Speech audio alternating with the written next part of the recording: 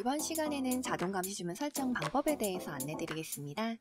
이 동영상은 총 3가지 스텝으로 이루어져 있는데요. 자동 감시 주문을 설정하시려면 스텝 1, 2, 3를 모두 봐주셔야 합니다.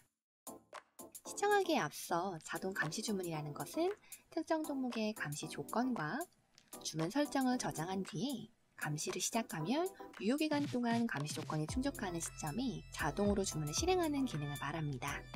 이번 시간에는 자동 감시 주문을 설정하기 전 유의해야 되는 부분에 대해서 알아보겠습니다. 먼저 자동 감시 주문을 이용하시려면 계좌 비밀번호가 보안 설정에 저장이 되어 있어야 하는데요. 영문에 접속하기에 앞서서 로그인 화면에 공인인증 매번 입력이라는 버튼이 있습니다. 이 부분에 체크를 해제하신 뒤에 체크를 하지 않은 상태에서 접속을 해주셔야 합니다. 접속을 하시고 나면 영문 왼쪽 상단 기능 메뉴를 클릭을 하고 아래 계좌 비밀번호 관리를 클릭합니다. 그리고 주식 계좌의 계좌 비밀번호를 입력해 주셔야 되는데요. 이때 다수 계좌 보유 중인 상태라면 전부 입력해 주셔야 자동 감시 주문을 사용할 수 있습니다. 입력하시고 난 뒤에 확인을 클릭합니다.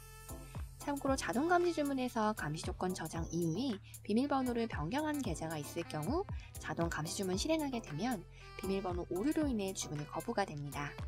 5개 이상의 주문이 실행된다면 비밀번호 오해 오류가 발생되기 때문에 이 점 유의해 주셔야 됩니다. 자 그리고 영문 상단 메뉴 중에 주식 주문을 클릭을 하고 아래 기간 자동 감시 주문 메뉴 항목에서 공유기사 주식 자동 감시 주문을 클릭합니다.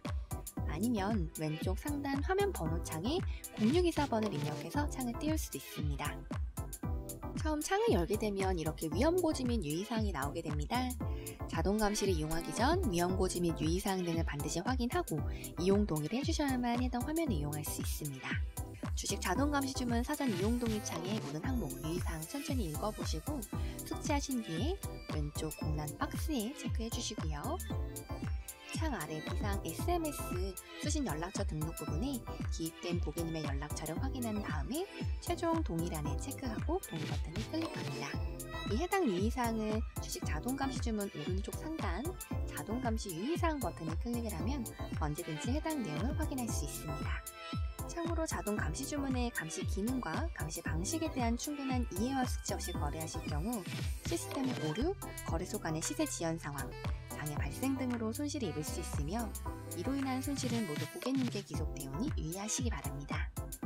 자, 유의사항을 확인하고 난 뒤에는 주식 자동 감시 주문 화면 왼쪽 상단 보유 종목 자동 매도 탭을 클릭해 주시고요. 아래 잔고 하이 탭을 선택해 주시기 바랍니다. 감시 주문을 설정할 보유 종목의 종목명을 클릭한 뒤에 오른쪽 감시 조건 설정 탭에서 종목이 정상적으로 연동되는지 확인해 주셔야 합니다. 계좌번호 옆에 잔고 선택 버튼을 클릭을 해서 종목 선택도 가능하기 때문에 편한 방법으로 설정을 해주시면 되는데요. 다만 주의하실 건 잔고 탭에서 체크박스를 체크하는 것으로는 종목 연동이 되지 않습니다. 이 점 유의해 주시기 바랍니다. 자 이제 주식 자동 감시 주문의 감시 조건 설정에서 이익 실현, 이익 보존, 손실 제한을 선택해 보겠습니다. 하나 또는 여러 개를 동시에 선택하실 수 있고요. 체크박스를 선택하게 되면 이렇게 각 감시 조건을 입력할 수 있도록 활성화됩니다. 선택한 조건은 감시 종류에 따라 색상으로 표현이 되는데요. 대신 이익 보존 같은 경우에는 이익 실현 감시 조건과 함께 사용이 되며 단독 설정이 불가능합니다. 이때 현재가를 기준으로 현재가보다 낮은 가격으로 감시하려면 손실 제한 기능을 사용해 주시면 되고요. 현재가보다 높은 가격으로 감시하려면 이익 실현 기능을 이용해 주셔야 됩니다. 매입 단가과는 관련 없이 현재가가 기준이 되기 때문에 이 점 꼭 유의해 주시기 바랍니다. 이번 시간에는 자동 감시 주문을 설정하기 전 유의해야 되는 부분을 알아보았는데요. 다음 스텝 2 영상에서는 이익 실현 및 손실 제한 등 감시 조건을 설정하는 방법에 대해서 안내드리겠습니다. 감사합니다.